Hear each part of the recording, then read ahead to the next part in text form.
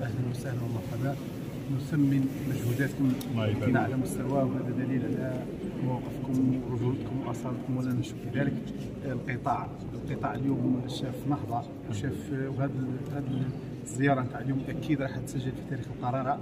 آه، وكأننا تحصلنا على شهادات في في اختصاص العدالة من خلال ما تتبعناه في المحطات. السيد الوزير الفاضل أنا عندي رجاء وعندي عندي طلب. اليوم غرداية استعادت عافيتها. الحمد لله. الحمد لله. والحضور الكريم والوجوه الطيبة ما هو دليل إلى ذلك. ولكن وكما تعلم في القراره أو غرداية في 2013 شهدت بعض الأحداث. للأسف. والحمد لله الدولة الجزائرية تفطنت. وضربت بيد. وضربت بيد فتنة- فتنة على. على على أيادي فتنة وحولت على أيادي أبناء المخلصين المتحابين المتعايشين. اليوم غرداية بعروشها وعشائرها وأطيافها نسيج عمراني متلاحم وقلوب متحابه منذ أن خلقت الحمد لله. ولكن شاءت الأقدار أن وقعت حادثة في 2013 و 2015 كانت أياديها معروفة للدولة الجزائرية وضربت اليوم بيد الحديد وقضت عليها ووضعتها في المكان المناسب. ولعل السيد الوزير المحترم لك الفضل وسجلك التاريخ. كنت من الرجال المخلصين للوطن وضربته بقوة وصفيته واتضحت الرؤية. تبين الخيط الأبيض من الأسود من الفجر. ولكن أنا عندي طلب وعندي رجاء. تنتظر. لربما المنتخب المحلي بالذات راهم عندهم رجاء وعندهم طلب. وراهم كلهم يديروا في رسائل.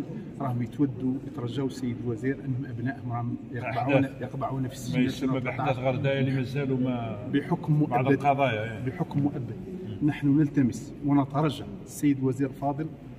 وكلنا في كرجاء أهل القرارة وأهل الغردايه أن تضع هذا الملف خاصة حكم المؤبد على طاولتكم ومكتبكم المبارك ونحن متأكدين وجازمين بأن ستكون نتائج إن شاء الله مثمرة ولعل شهر رمضان الكريم والعيد الفاضل إن شاء الله يكون مفتاح خير.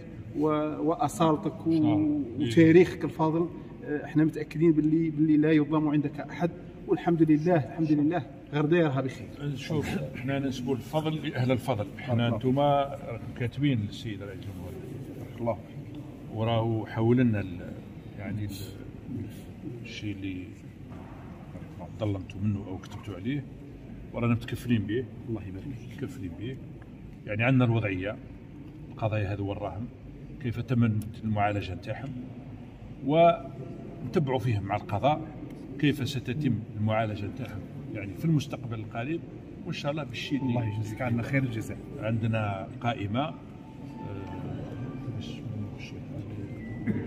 عبد الرحمن الكرتي كان كتبوه السيد رئيس الجمهورية. والسيد رئيس الجمهورية حاولوا لنا ال- ال- العارضة بتعليمات واضحة باللي وجب التكفل ورانا متكفلين. وعندنا الوضعية ورانا في الله يبارك فيك. يعني إن متاكدين باللي باللي اليد نتاعك راه. مفتاح للملف. ويبقى الأمر كل الأمور الأخرى في يد القضاء. الله يبارك فيك. معنا إلا مسهلين. نسكت. إحنا مسهلين. هذه ولكن هذا الشيء اللي نحب نطمئنكم عليه أنه الرسائل اللي وجهتها والعرائض اللي وجهتها السيد رئيس الجمهورية راه يعني الله يبارك فيك. وبتعليمات منه بان نتكفل طبعا بما يقره. الله يبارك فيك. ان شاء الله زير تيوب أول قناة إلكترونية في الجزائر.